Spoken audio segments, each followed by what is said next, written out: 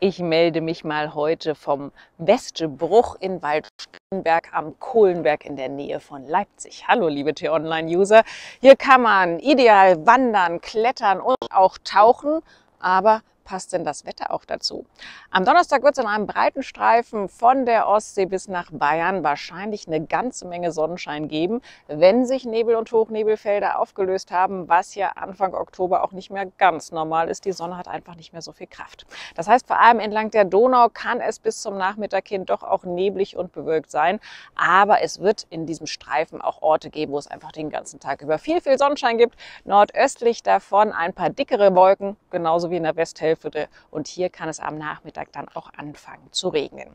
Die Temperaturen überall eigentlich relativ spät sommerlich, 15 Grad unter den dichten Wolken. Ansonsten sind noch mal bis zu 21 Grad möglich. Ja, wie es am Freitag aussieht, dazu morgen mehr. Schon mal eine kleine Vorschau. Es wird sich ein Sturmtief entwickeln und wahrscheinlich Freitag früh über Britannien für heftige Sturmböen, Orkanböen sorgen. Auch in den Alpen gibt es Orkanföhn und im Osten Deutschlands kann es am Samstag noch mal bis zu 25 Grad geben. Morgen Details dazu.